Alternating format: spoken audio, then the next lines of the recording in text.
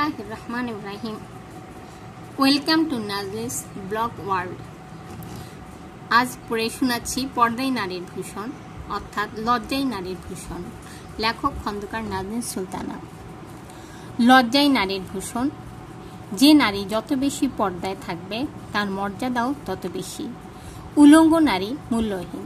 ইদানিং উঠতি বয়সের মেয়েদের নিয়ে নাটক, সিনেমা বানানোর কৌশলে মেয়েদের করা হচ্ছে পর্দাহীন। ফ্যাশন শো, মডেলিং, সুন্দরী প্রতিযোগিতা এসবের আয়োজনের মাধ্যমে প্রায় উলঙ্গভাবে নারীকে প্রদর্শনী করে মূলত তাদের বানানো হচ্ছে পণ্য।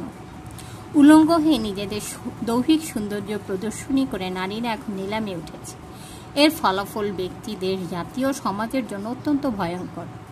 তাই পর্দা রক্ষার তাগিদে এবং অন্যদের পর্দায় উৎসাহিত করার লক্ষ্যে মেয়ে, মা, বোন, শাশুড়ি, দাদি, নানি সকলেরই কোরআনের হাদিসে বর্ণিত পর্দা সংক্রান্ত পূর্ণ এবং নির্ভুল জ্ঞান থাকা আবশ্যক। পর্দা নারীর মৌলিক অধিকার। পর্দাতেই নারী সর্বাধিক নিরাপদ। নারীকে নিরাপদে রাখতে পারলে তখন ব্যক্তি, দেশ, জাতি ও সমাজ, সংসার সব কিছুই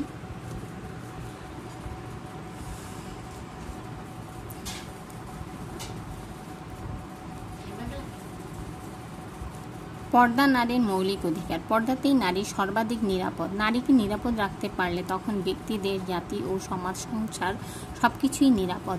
প্রতিটি নারীরই উচিত উঠতে, বসতে, কাজে, কর্মে, কথায়, আলাপে সর্বদাই পূর্ণ পর্দা রক্ষা করে চলা। শুধু বাহ্যিক পর্দা নয়, আভ্যন্তরীণ পর্দা রক্ষা করাও আবশ্যক।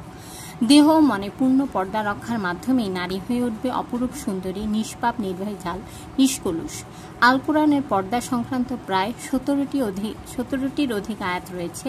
এসব আয়াতে মানুষের আভ্যন্তরীণ ও বাহ্যিক উভয় পর্দা সংক্রান্ত আলোচনা এসেছে। একটি মানুষের চোখ, হাত, পা, মন, শরীর প্রতিটি অঙ্গ প্রত্যঙ্গেই পর্দায় রাখতে হবে। কারণ সব কিছু মিলেই পূর্ণাঙ্গ একটি মানুষ। মানুষের প্রতিটি অঙ্গ প্রত্যঙ্গ যখন পবিত্র থাকবে, যখন মানুষও হবে পবিত্র।